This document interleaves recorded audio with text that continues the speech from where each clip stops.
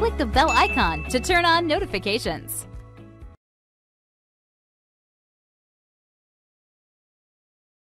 In this module, I'll discuss converting an image to black and white. First, I'll show you a couple of ways you can do this, and then I'll show you what's probably the most preferred method. One method you could use, but I don't entirely recommend, is to change your color mode on your image. You could change this to grayscale and discard all the color information in your image. And this could work, but you should know that if you do this, you won't be able to use any kind of color in your image from that point on, unless you revert it back to a color mode which would take away your grayscale result. So I don't recommend this method. Another thing you could do is to create a hue saturation layer.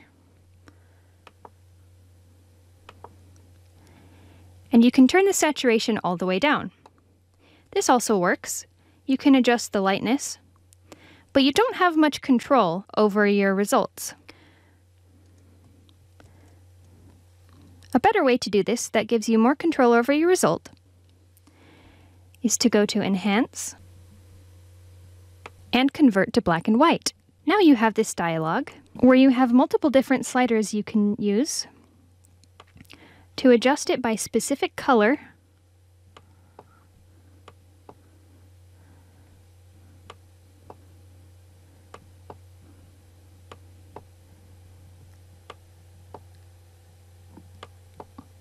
You can adjust the contrast. You can even choose different styles. If you want to undo or redo a change you perform in this menu, you can click on these. And if you want to reset everything to where it was in the beginning, just click Reset. And once you're done, click OK. Now you can have a grayscale photo that you've customized. That wraps up this video about converting an image to black and white.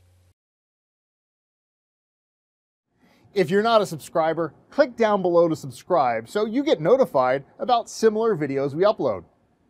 To see the full course that this video came from, click over there. And click over there to see more videos from Simon Sez IT.